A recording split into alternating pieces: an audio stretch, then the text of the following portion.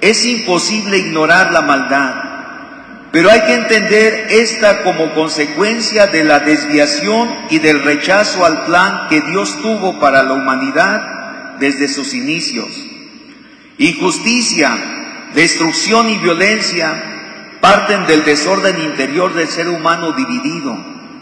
Muchas situaciones lamentables e inhumanas evidencian la presencia del mal en el mundo, como la afanosa búsqueda de poder, de tener y de fama, que solo dejan orfandad y vacío, provocan rupturas y divisiones en la familia y en la sociedad.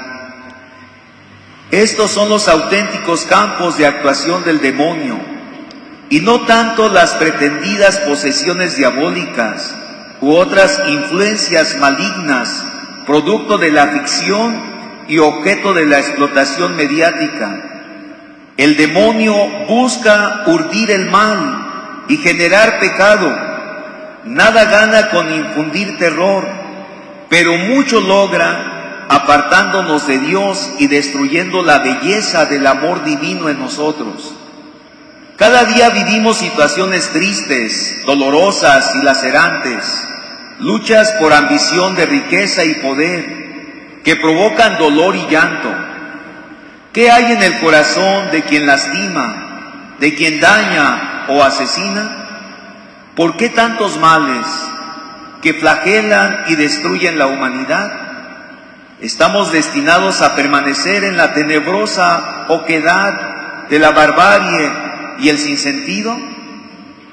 En todos los tiempos se ha buscado respuestas a esas mismas interrogantes. Se ha querido encontrar el origen del mal, de la enfermedad y de la muerte.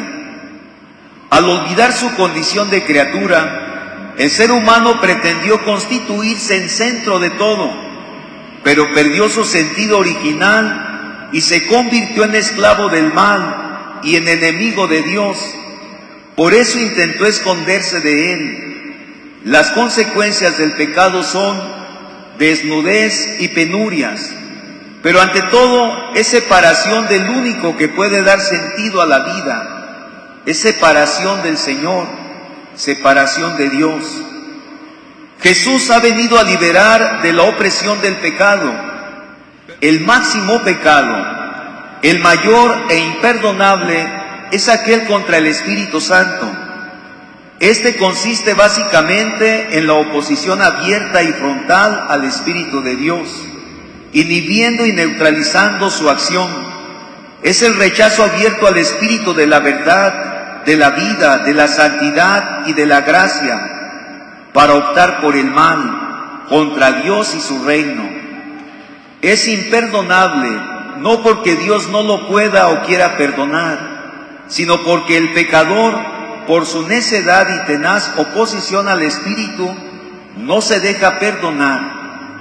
Es la opción necia y obcecada por el mal y por el pecado.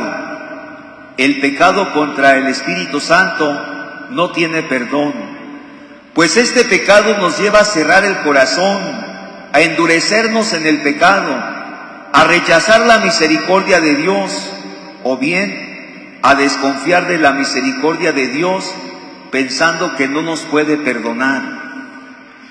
El mal se puede remediar sanando el corazón y abriéndose a la acción del Espíritu Santo. Jesús ha venido a sanar esas heridas profundas, pero necesitamos dejar que Él nos restablezca y reconstruya nuestras relaciones interpersonales tan dañadas. Pues como dice San Pablo, entonces aunque nuestro hombre exterior se vaya desmoronando, nuestro hombre interior se va renovando día a día. Un espacio privilegiado para la acción del Espíritu Santo es la familia, que engendra vida, educa y produce armonía y equilibrio en la persona.